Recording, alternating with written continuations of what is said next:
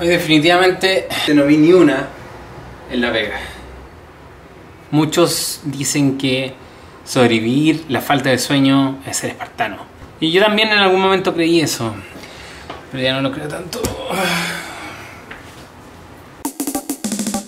Hey guys. Hoy la Connie tuvo un certamen, o sea, está en un certamen y la Mons entró a clase, así que las voy a esperar con algo que no hago hace mucho tiempo. Comida casera. Pero antes hay que ordenar. Ya está. Ya es lo mejor que puedo hacer.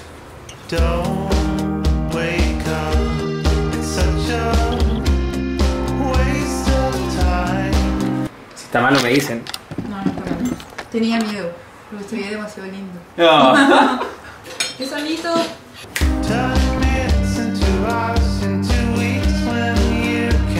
Ya, si alguien conoce a un personaje que habla así, es como así, es un, es un personaje tonto y olvidadizo, y es como, no chicos, estoy bien, estoy colgando de la ventana porque quería Le volar. estoy asignando una personalidad.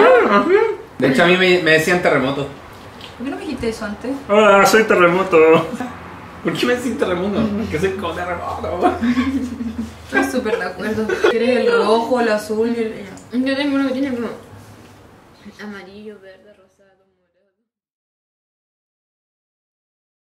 No es que no pueda sobrevivir sin sueño. De hecho, hubo mucho tiempo de mi adolescencia que dormía cero horas. Pero la cuestión es que uno igual necesita dormir. He querido robarle horas al sueño para ganar horas en, en la vida, pero el sueño me está quitando horas de vida. Ah, no sé qué hacer con ese tema. Ok, pero a la falta de sueño hay que darle curso. Vamos con la sesión de Pregúntale al árbol. Pregúntale a un árbol. Empezamos con Pregúntale al árbol, que no necesariamente son preguntas, también aceptamos saluditos y que algún no, que otro comentario.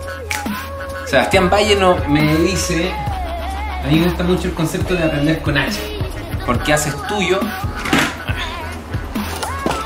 porque haces tuyo algo que no era, para crear algo nuevo. Pato Mans en su vida soy un ser. Así es correcto, Sebastián. Eh, la palabra aprender con H es una de mis palabras favoritas.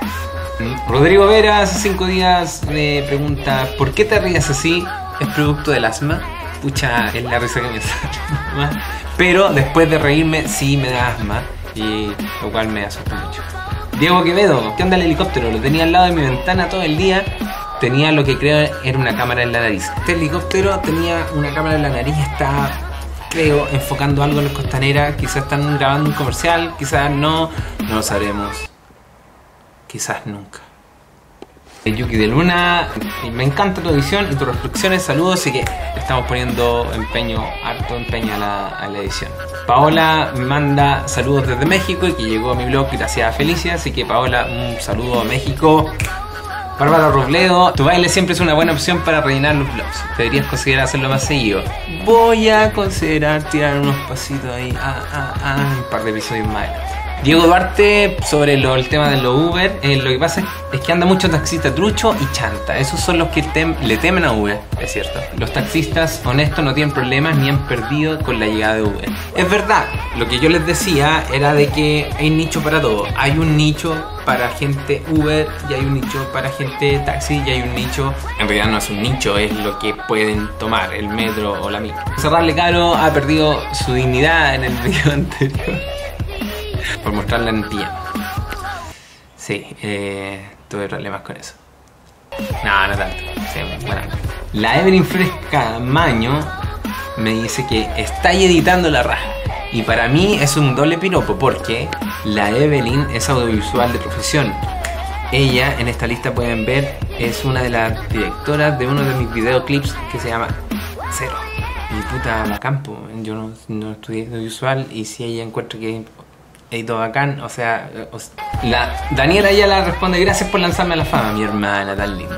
Belmontesino habla, ah, me encanta cómo se ven juntos tomando oncecita, refiriéndose al video anterior cuando tomábamos once con la once. Montserrat Lecaros, mira, pregunta, ¿cuánto te demoras editando un video? En serio no lo sé.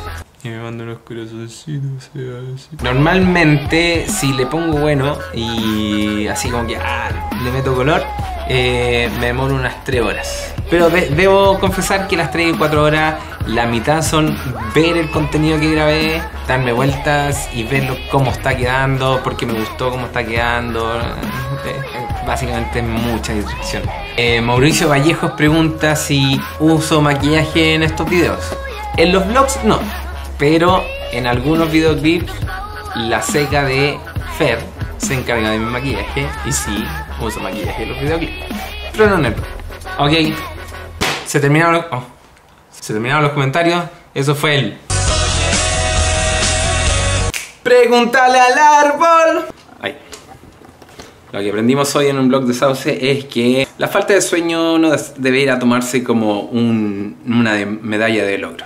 El humano cuando tiene sueño, por lo general, se droga con café. Entonces vive desvelado y la otra mitad del día vive drogado. O sea, bacán que le estéis poniendo color. Pero cuando la gente anda con sueño, no solamente se está haciendo mal a la salud de él, sino que está afectando a toda la gente que lo rodea, porque una anda malas pulgas, porque anda distraído, toma decisiones muy pobres. Yo soy de los que prefiere darle a cada cosa su tiempo para disfrutar las cosas que más importan en la vida. Los amigos, la familia, las conexiones con otras personas. Oh, que me fue la profunda.